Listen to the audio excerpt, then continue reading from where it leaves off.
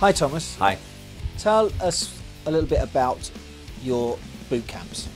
Since 2009, we've done more than 100 camps all over the world, and we've had more than 2,000 students signing up for these camps over the years.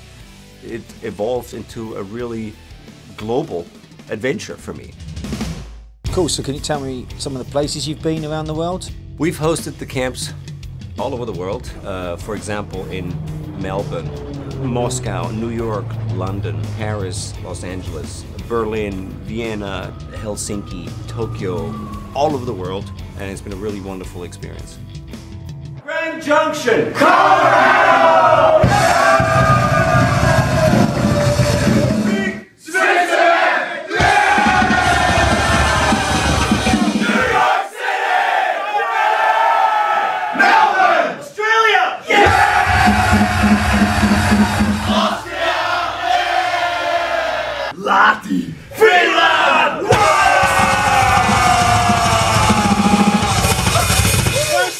어!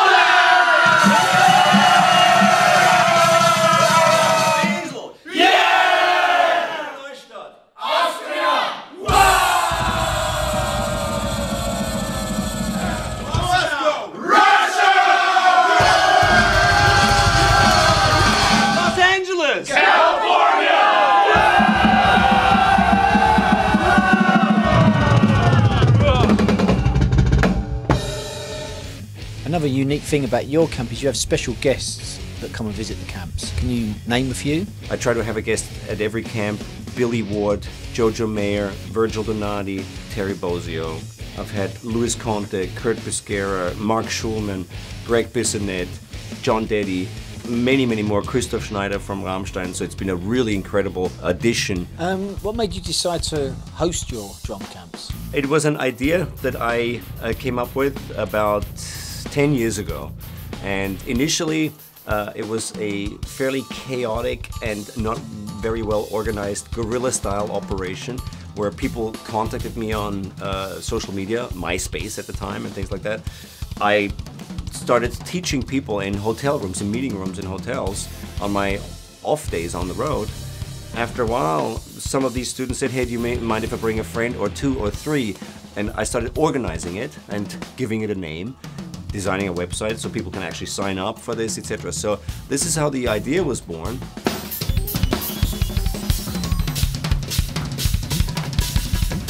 What do you think makes your camps so successful?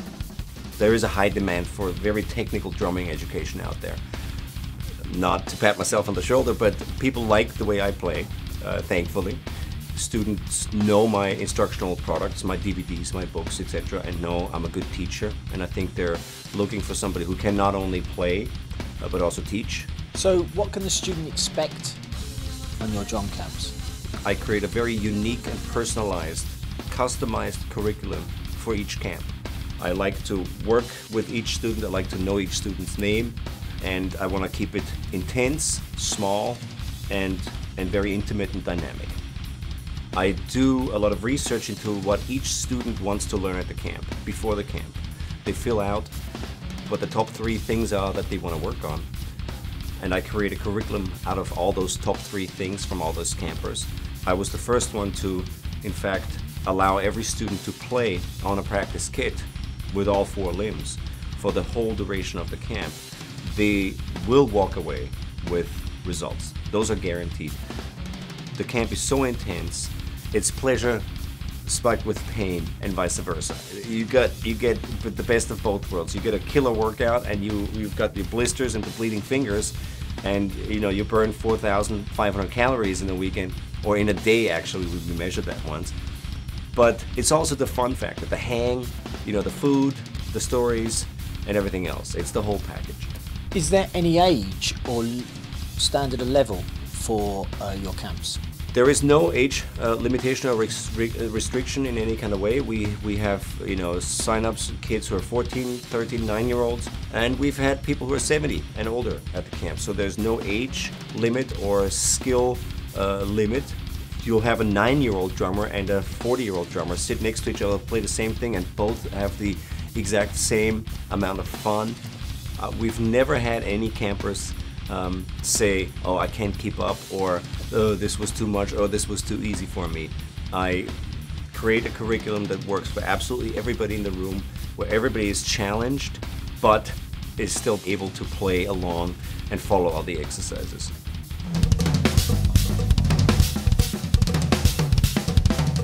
In the past few years, a lot of other drummers have copied your concept of the drum camps. How do you feel about that? Well, I think for a lack of imagination and innovation, there's often a lot of imitation. And it is my initial idea and my concept.